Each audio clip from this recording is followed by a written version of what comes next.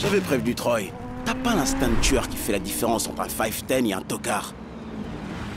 Allez, viens. Je vais te foutre une branlée. C'est parti.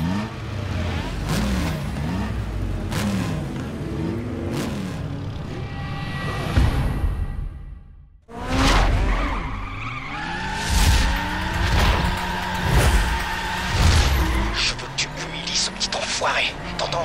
C'est l'idée, Hirsch. Maintenant, laisse-moi faire mon boulot.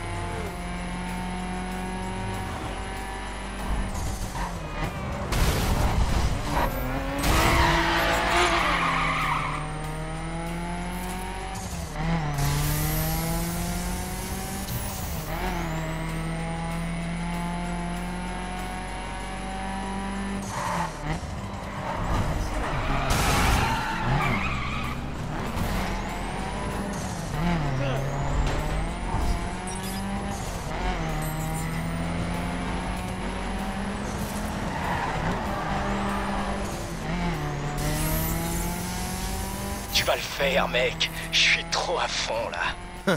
Un peu trop.